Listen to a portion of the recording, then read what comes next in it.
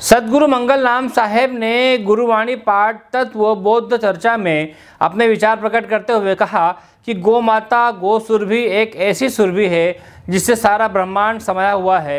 जो गाय का गोबर है, वह काफ़ी ऊर्जावान होता है। उसको धरती जब प्राप्त करती है तो एक दाने के हज़ार दाने हो जाते हैं। धरती उपजाऊ होकर इसका दस साल तक असर रहता है। उसका गोमूत्र जो है, उसको अमृत कहा गया है। गोमूत्र सारे रोगों का नाश करने वाला है। इसलिए कबीर साहब ने कहा है गौ माता योग को साधने वाली है। भगवान योगेश्वर श्री कृष्ण ने भी इसका पालन पोषण किया और आशीर्वाद लेकर इसकी सेवा में लगे रहे। भगवान शंकर ने भी मंदिर के सामने नंदी को बैठा करके गौ माता के प्रति अपना भाव व्यक्त किया है। कि इसके बिना संसार में कोई भी सुखी नहीं रह सकता। गाय के पास सब शब्द रूपी औषधि है। सत्य से धरती का जन्म हुआ है, शब्द से आकाश का जन्म हुआ है, संसार की सभी औषधि गाय के पास है। इसलिए ब्रह्मांड की सबसे ज़्यादा सहन शक्ति भी उसके पास ही है।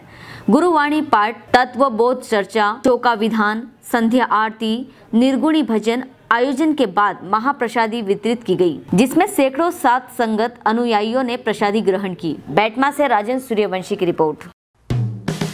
हेलो फ्रेंड्स आप देख रहे हैं हमारा channel S W twenty four news हमारे सारे वीडियो सबसे पहले देखने के लिए आप हमारे चैनल को सब्सक्राइब करें और पास में लगे बेल आइकोन को दबाना बिल्कुल भी ना भूलें।